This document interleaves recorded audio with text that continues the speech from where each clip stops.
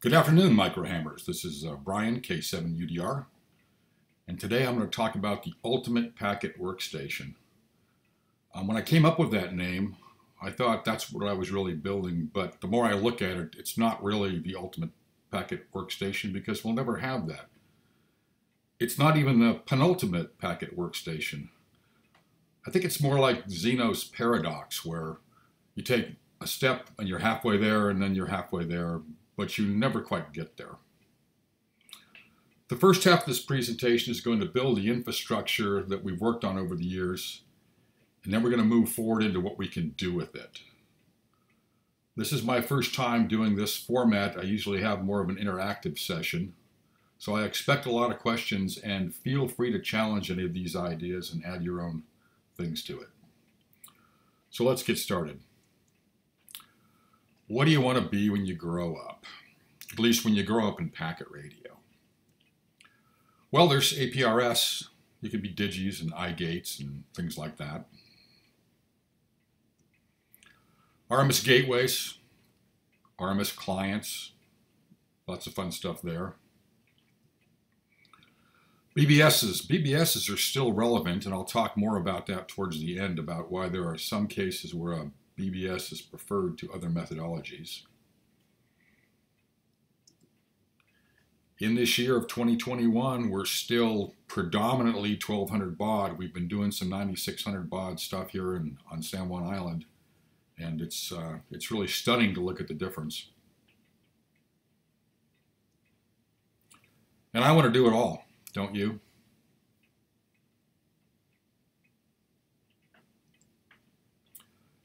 But there's a problem. We can do all of the client side stuff, you know, one at a time, but all the host things require dedicated radios and antennas and filtering to allow multiple operations. Well, that's all fine for a repeater site, but that doesn't really work for a home operating station. Let's go back in time. Back in 2012, I did a pitch down at DCC in Atlanta called a hailing channel for packet radio.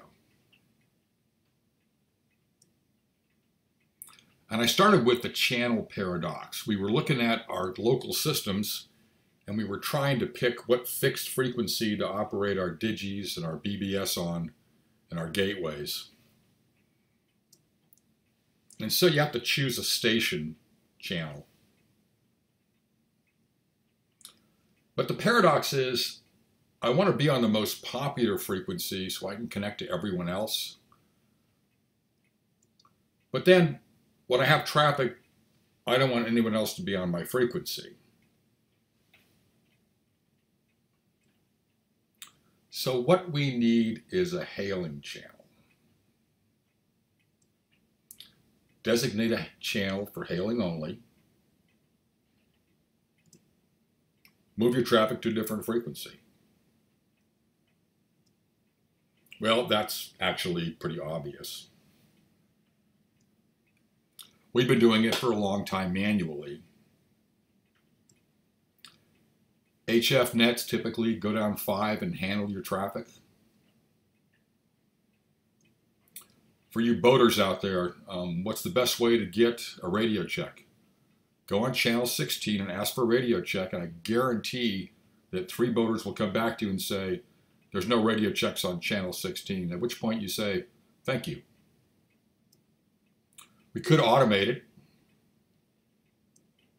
That's all trunk radio is.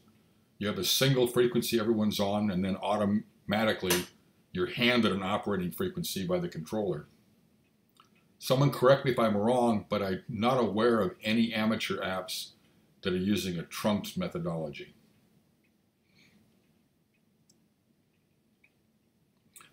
So all I have to do is agree on a frequency. Now it's time for a story.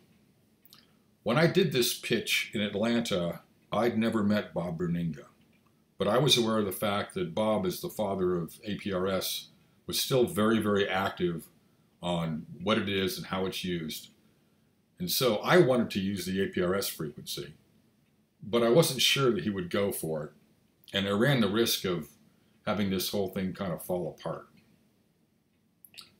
So I stood up there and said to the crowd, What frequency should we use?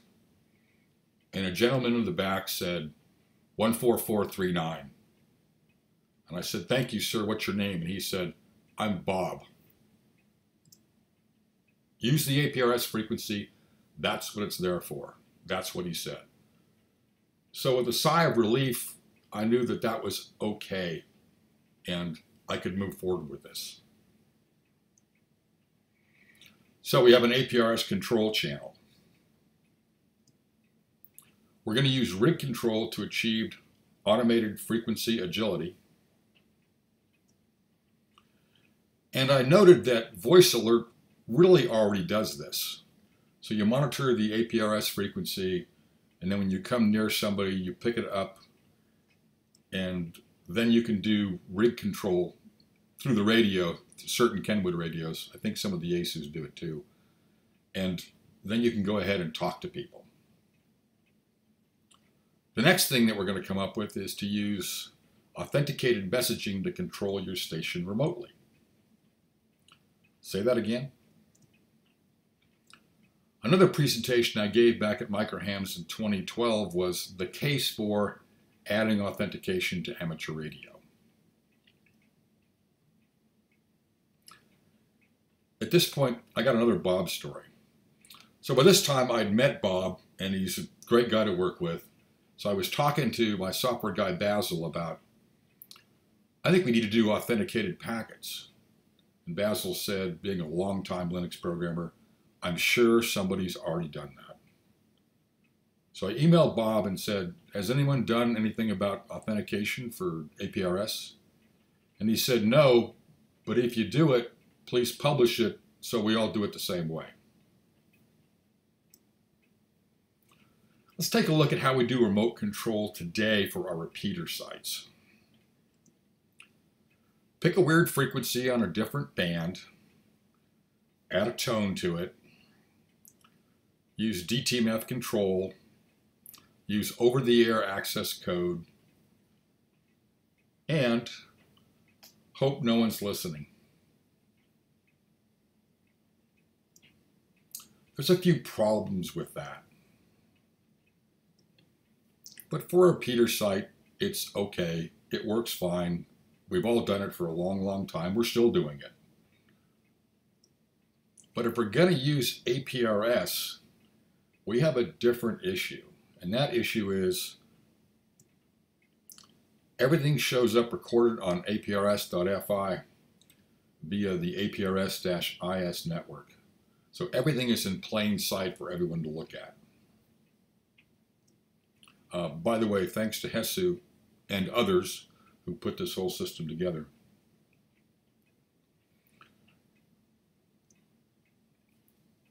So instead we're going to use DTMK control, which stands for don't touch my knob.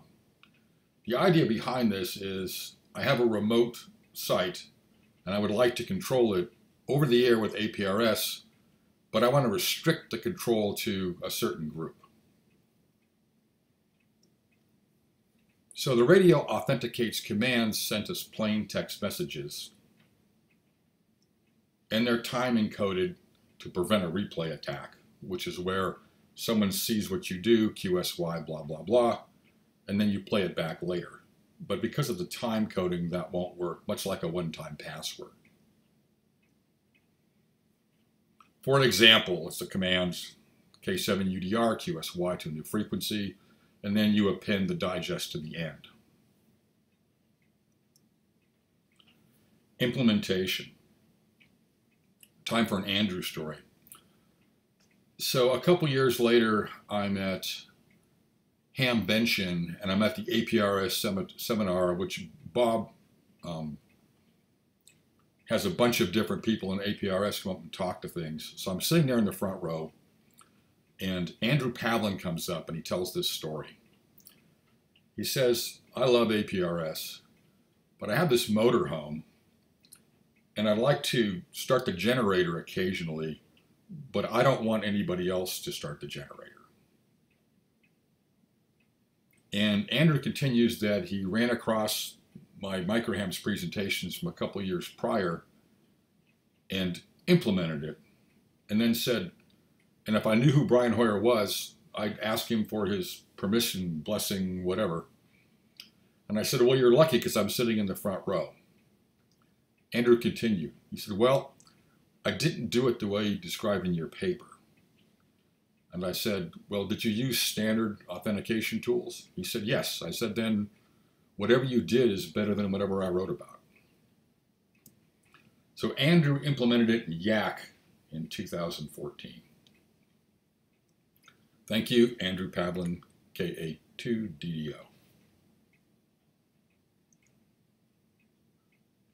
Does use standard authentication.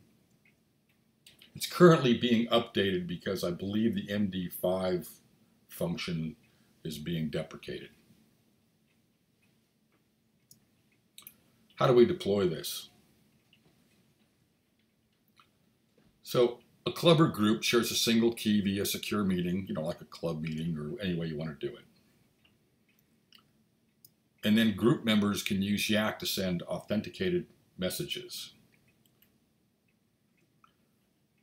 When I was doing this a few years ago, there was more confusion about authentication versus encryption, but authentication is not encryption. Everyone can read all the messages. However, group members have the keys and they can authenticate the received messages as well.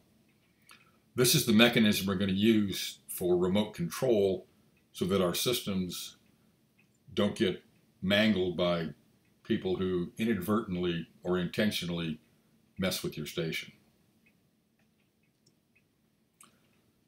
Let's talk about how to automate your station. First off, hardware requirements. We need a computer with a USB or serial port. We need a rig control cable, a radio interface, and a radio with rig control capability. Here's what my test station looks like. I've got a Raspberry Pi 3B Plus with a DRAWS hat. DRAWS stands for Digital Radio Amateur Workstation. It's been out for a couple years. We use the Kenwood TMV71A dual bander specifically because it has good rig control features and is a good radio as well. Connected by a USB rig control cable. We also have an Alinco DR235 220 radio. It does not have rig control. But because the DRAWS hat has two radio ports, we can also do um, voice or digital over that separately from the dual bander Kenwood. And I picked up an ICOM 7300 HF rig specifically because as a newer rig, it has both rig control and sound capabilities via USB. So off a single DRAWS hat, I can control three radios. I want to mention that nothing is specific to the DRAWS hat that we're going to talk about. And all of our software is written in Linux and is open source.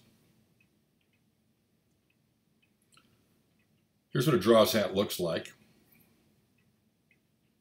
Basically, you can see on the left-hand side, you can see the connectors and then the mini DINs across the bottom. There's a GPS in the corner. And on the right is the battery to keep uh, the GPS up. What's on there? 9 to 15 volt station power, which back powers the Pi, so you don't need a 5 volt adapter. It has two mini DIN 6 radio interfaces. It has a GPS with pulse per second, and we also include an SMA LNA antenna. There's a battery backup for warm start. If you haven't worked with GPS much, you'll know that a cold start can take quite a long time, but if you start from where you last were and memorize that, it comes up much quicker. And the PPS allows us to be a Stratum 1 time source. Now, Stratum 1 means I'm one hop from the GPS system itself. If you look at your basic network NTP, you'll find that you're typically, oh, half a dozen to a dozen hops away from the actual source. Now, a lot of the new HF stuff needs accurate time, and I'll be perfectly honest with you, you don't need a Stratum 1 time source because it's far more accurate than is necessary given HF propagation. But we think it's cool. And then we added an 8-pin accessory connector so unused IOs can be accessed. Here's a picture of the case. If you've been following us, you know that the case took too long and the prototypes cost too much and I went through five different MEs to get here, but we do have it now. And more importantly, we have a vendor relationship to do more cases in the future because a computer without a case is kind of longing. Here's the top of the case. We decided to get fancy and do a little advertising on it.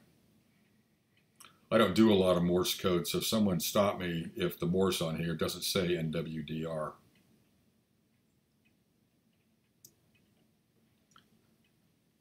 So I have a WinLink home station. I've got it set up with Pi. I've got a monitor, and a keyboard, and a mouse. I can also get into it remotely. I can use it as a, as a headless computer. And what are the th kinds of things I want to do with it? Well, for our EMCOMM stuff, we have to answer the question, what RMS gateways can I hit? Now, currently, what we used to do is you go pull a list or a map from WinLink and you look at it and then you poke them all. You twist the knob, you push the button, you log the results, lather, rinse, repeat. And it takes a while.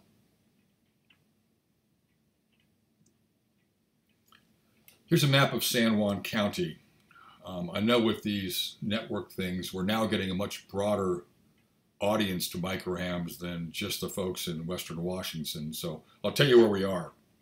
In the center of the map is San Juan County, which is composed of all of the islands in San Juan, of which there's like a hundred and something of them, of which like 20 of them have power, and about that number are actually inhabited. But it's sitting right in the middle of Puget Sound, so it's in between Victoria to the left, Bellingham to the right. It's a little north of Whidbey Island and a little south of Vancouver. So here's a map I get from WinLink that shows all the packet stations that are in my region. I do want to note that if you look here in the center, you'll find that the highest density of RMS gateways is on Lopez Island. And there's a reason for that. Um, Right in the middle is Basil N7NIX. But when you're writing software, it's really good to have a test farm. So some of our other Lopez hams have put them up RMS gateways as, as well. Now when it comes to gateways, I like to use the bug zapper analogy. So bug zappers have two functions. They attract bugs, and then they kill them. So what you really want in a bug zapper is to buy the biggest, meanest bug zapper you can and then give it to your neighbor so all the bugs go over to his place and then they die there. So when we put up gateways, I've had hams tell me that, well, you know, our gateway's down. What are we going to do? It's like, well, you have to remember that our gateway isn't for us because the gateway only works when the internet's up. And if the internet's up, then we don't need the gateway. Gateways are always for somebody else.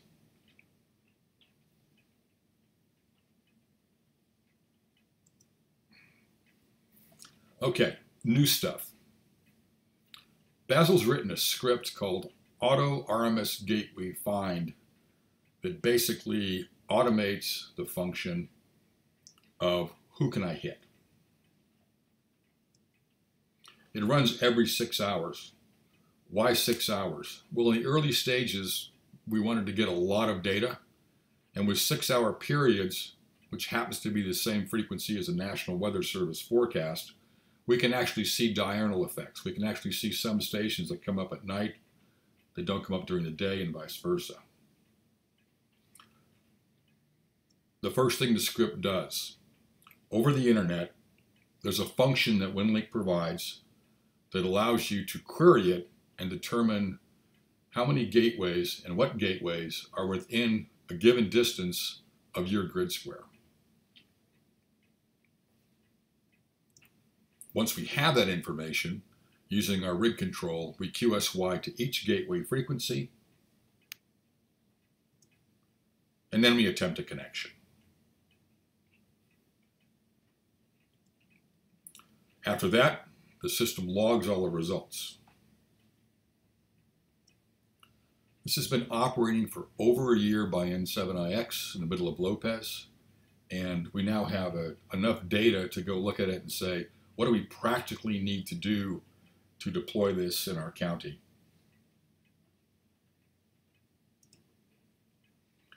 So there's a function he's built that does an aggregation. I'm going to show you a weekly aggregation, which I think is about the right time frame, but you can also do monthly and yearly aggregations. So here's a log. Um, this is probably going to be a little hard to read. Don't worry about it. It's going to it's going to blow up in a second.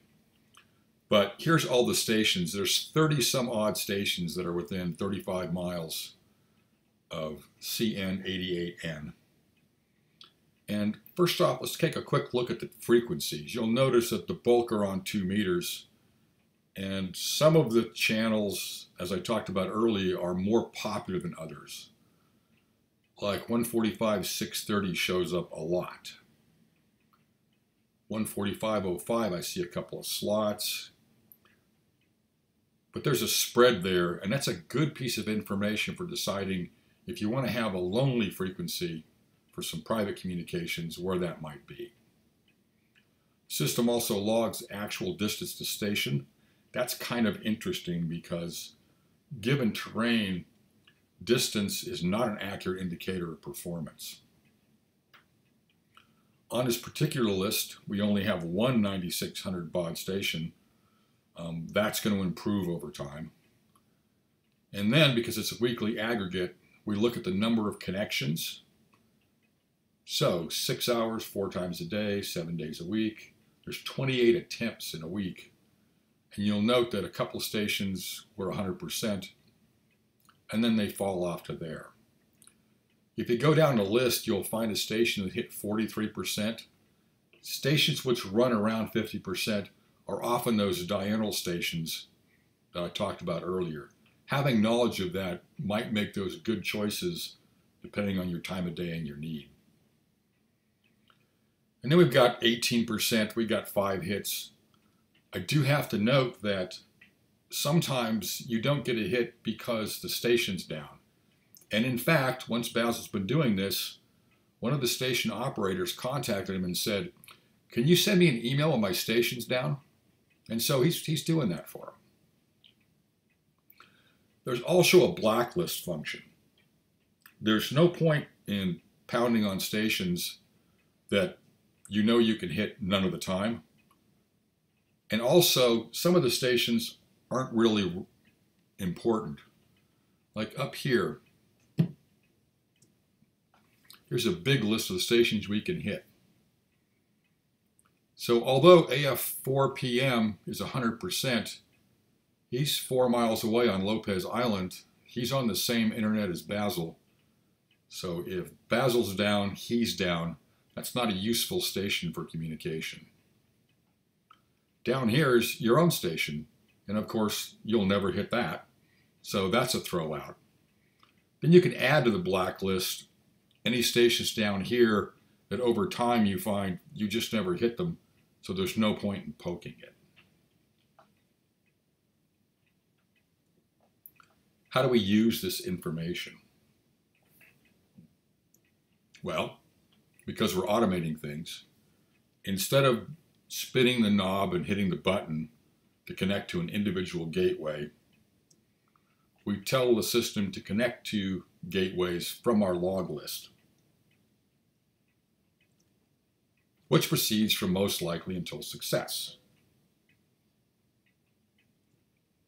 A future enhancement could easily be, let's do a failover to HF. That's part of why I have that 7300 on my system. I think this is awesome. So where'd you get one and let's all do this? Well, I'm not sure that's a great idea. I don't think we all need to do this. For example, um, one of my closest neighbors is about 100 feet from my station. Uh, both of us doing that doesn't make a lot of sense. Also, it's a lot of gear for the average ham. What if we could just share the list? So what's the best way to share the results of this with my neighbor hams so we can all take advantage of it? So we're building the San Juan County Monitor. We've chosen six geographically dispersed locations and we'll assign each one a six hour time slot so that we're not all trying to beat everybody up at the same time. A typical run is less than 15 minutes. That's a full run. And I want to point out that because not all the stations are on the same frequency, you're not really clogging the channel all that much. Then the aggregated results are posted on our BBS weekly to make it available to all of our local hams.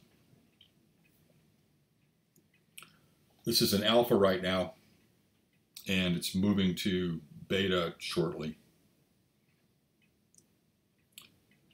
So here's our county map. And first off, you need to look at the terrain because we have some significant mountains and hills and valleys in the island. And consequently, like stations need to be looked at from different spots.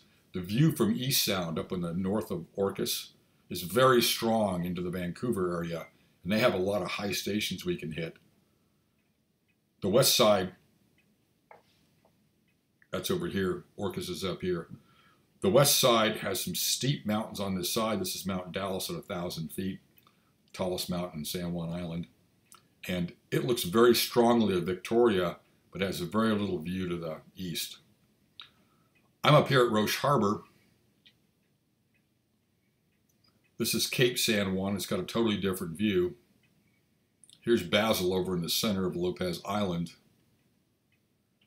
And one of the microhams folks, Kenny, has uh, some property on Lopez, and he's right over here, and he gets a little different view as well. So between those six stations, we this red mark is our BBS, which is sitting up on Viewsario. Um, this is Mount Constitution, the highest point in the San Juan Islands at 2,700 feet. And this spot is just down the mountains. And as you can see, looking to the west, all of the stations can hit it easily. Doesn't have much of a view to the east because it's in the shadow of the mountains.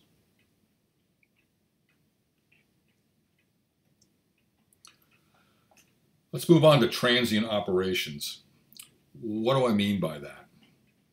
Well, I started this whole thing with what I want to do? I want to do everything. So what we've done is we've decided I'm going to take one side of my Kenwood and park it on APRS and let it operate continuously as an iGate and a Digi. On the other side of that same radio, it's set to 440, and I use that for local voice communications. I also have a 220 radio, which I can use manually for either voice or digital communications in our county. So it's on APRS 24-7 unless I want to do something else. Something else might be connect to a bulletin board. Something else might be turn into become an RMS gateway. Um, once again, remember the gateways are for other people, not myself. So I might use it for RMS client, but I could also use it as a gateway. Now, if I'm here I can punch the button and turn it into a gateway. But if it's going to be useful to people outside the county, I need to grant them permission to flip my station into a gateway if they need it. We also are in good shape here on San Juan Island. Um, I have a gigabit fiber to that station, and that goes all the way back to, goes straight to uh, the Westin in Seattle. Um, we have a lot of bandwidth in the island, which is in a submarine cable on glass.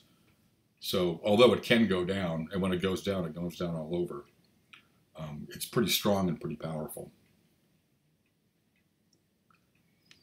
Another thing we could do is if we took that mountaintop digi we have, which is on a KPC 3 plus fixed frequency, if we switch it over to one of these systems, then we could QSY the digi. Why would I want to do that? Well, if we've lost internet and we have that list of stations we can hit, and we find that the stations, we can only hit them through digi, but our digi is not on that frequency, it, that goes back to the most stations list or least stations list. And I have a good reason to be either one of those. We could QSY the digi using APRS commands. Now, of course, you always want a timer frequency fallback for all remote operations so we never lose remote access.